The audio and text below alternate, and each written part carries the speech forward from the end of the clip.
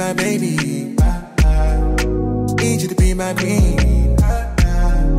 Need you to be my darling. Need you to be my team.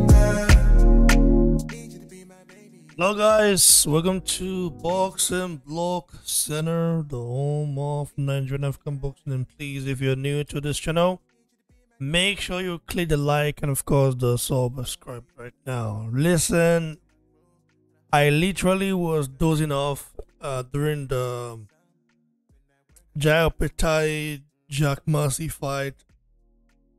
I said, let me just slip through, and uh, because I thought the Wardley and um, and big clock fight would be like let's say a 12 round war.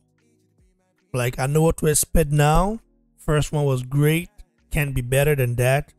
Well, to my surprise, Fabio Wardley just did something unthinkable. No, unthinkable in a way because it's got power. He stopped Frazer Clarke in the first round basically took the fight to Frazer Clarke.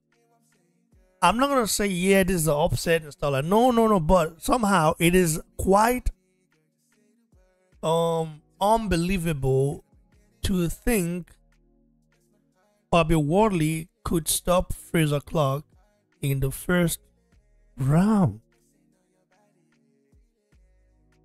This is this is massive, bro, for Bobby Wardley. And after I stopped him, he looked into the camera and said, Man, come get it now.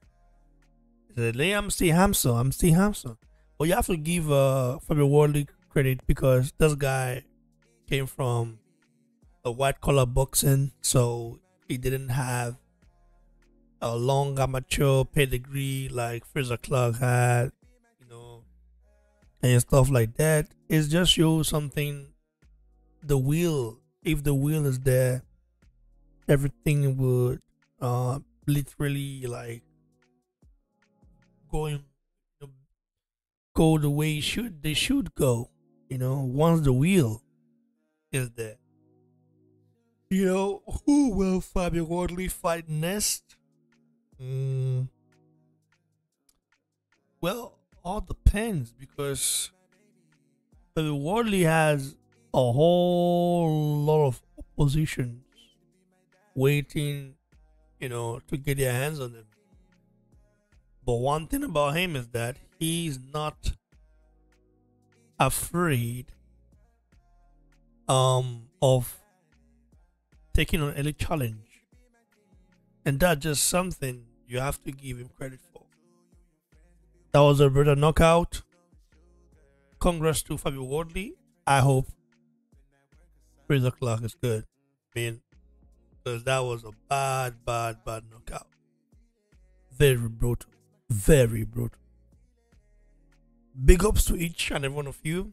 And uh, we go to the next one. Ah, the main event. Bivol against Arthur Beterbiev, we know what to expect in that fight. It is a monster puncher against a master boxer. Usually, master boxers win. In most cases, for master punchers, only need one chance to get the thing in. And once they do, it, beco- it is over. Get guys. God bless you. Cheers.